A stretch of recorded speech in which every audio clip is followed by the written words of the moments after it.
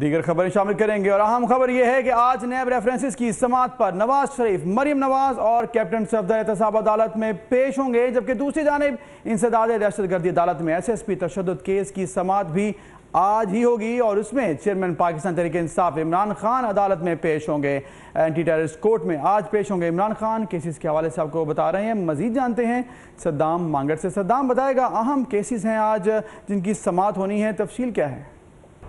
آج بالکل عمران آج جو ہیں وہ ایس ایس پی تشدد کیس میں پیش ہوں گے۔ یہاں پر گزشتہ جو سماعت ہے اس پر اسلام آباد پولیس کی جانب سے چلان پیش کیا گیا تھا۔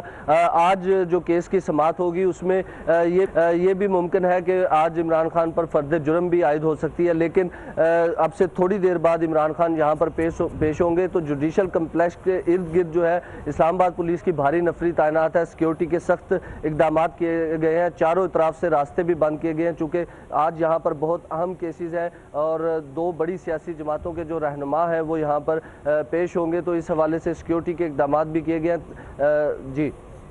صحیح، صدام یہ بھی بتائے گا کہ دیگر جو کیسز ہیں اس حوالے سے بتائے گا، آج نواز شریف پیش ہو رہے ہیں، احتساب عدالت میں پیشی ہے، اس حوالے سے بھی آگاہ کیجیے گا۔ وہ کیا وقت دیا گیا ہے؟